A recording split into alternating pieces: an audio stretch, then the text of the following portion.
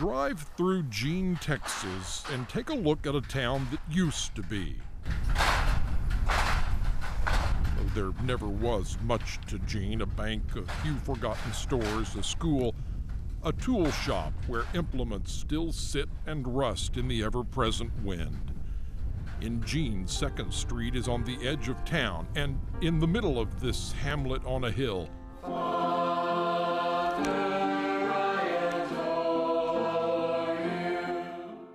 a church, one that has stood in the center of this community for nearly 90 years. We're in a part of the country that is considered to be a part that's not growing. We're in a place that's not expected to grow. We're in a place that's expected to get older and eventually to cease to exist. It was a few years ago that circuit preacher Marie Helm came to town and breathed new life into this congregation. It also helped that a family of six moved in, enough to make a choir.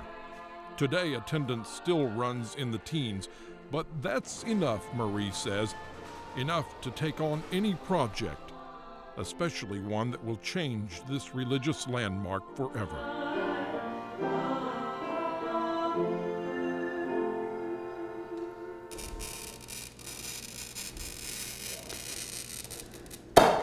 All started when a hailstorm broke out a few windows in the sanctuary. That's when Marie had the idea. Why not replace those windows with stained glass? But the tiny congregation thought stained glass was a luxury they couldn't afford. Stained glass? That's expensive. And my response was, not if we do it ourselves. I sure am glad I numbered these. That sure does make it easier. Now this one, remember, it's, even though it's got the pattern on the back, you'd put this face down. Okay. Now, what the congregation didn't know at the time was that Marie was no stained glass expert. She'd have to quickly learn the art herself. Well, I read frantically, and I talked to some people that had dealt with glass. And then came the day that I started teaching them, and I said, okay, here's what you do. You run your score on the glass, and I said, so then, then what you do once you've got that score on there is you pick it up in your hands like this and you hold it like this. And then I held my breath because that was my first cut and it was my first break. It worked.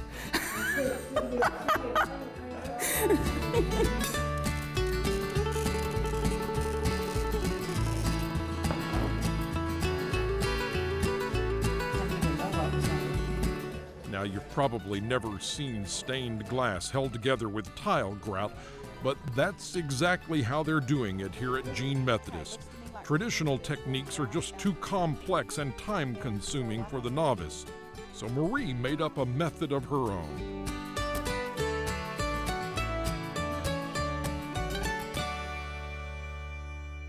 We, we do this as art. We don't do this as uh, the, it's not exact design. It, it's a more artistic approach, and a lot of people don't like that. They want it very precise, and so that's, that's not what we're doing. But we've had fun. You didn't put any glue on it, Rachel? Am I supposed to? Yes, ma'am. I'm a creative person. And I have to be doing creative things.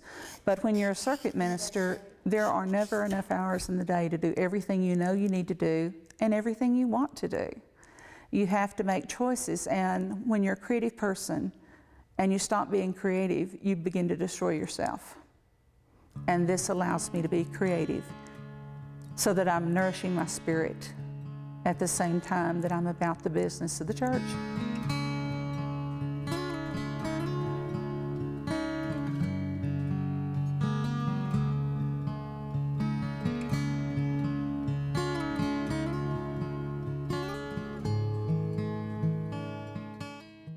One by one, with the fruits of their labor, the members of the congregation began to fill the tiny sanctuary with color.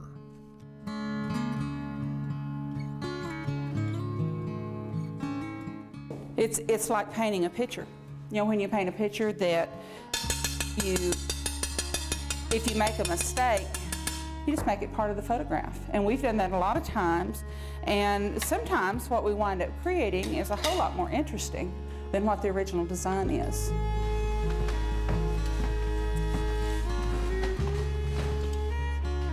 Two years after the project began, the day has come when the last window is put into place. The end of one era, the beginning of another. Marie says her only hope is that these windows will endure long after her circuit ministry takes her to another church and another congregation, possibly far from Jean.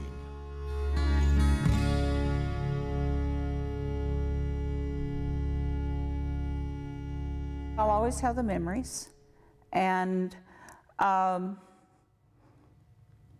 more important than what I did is what they did. It is their work.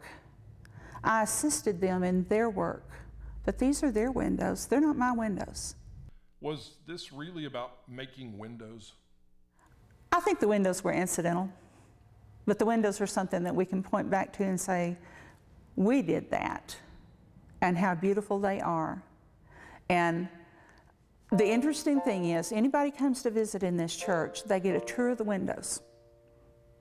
And it doesn't matter if it's time for worship to start or not, they get a tour of the windows.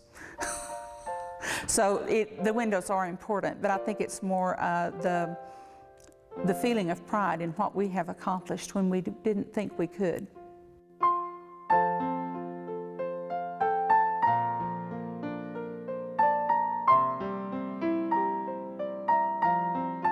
It's just a small handful of folks who live in the nearly forgotten town of Jean, Texas, an even smaller group that makes up the Methodist Church. But it doesn't take a crowd to have faith, to share fellowship, to work together to shine new light and new life into their old historic church. They put up a sign to commemorate the year this church was built. Maybe someday there will be a sign to remember Marie Helm and what this congregation came together and did 90 years later. I don't want them to say, oh, Marie was here, but I want them to say that we had a minister and that minister helped us do this, and it doesn't matter if they remembered my name or not. And I think because of the, the pride and the joy that we have developed together, that it has given us a new lift uh, a new energy in going into the next century of the life of this church. Thanks for hopping in and traveling with us. Now click the subscribe button for more videos like the one you just saw.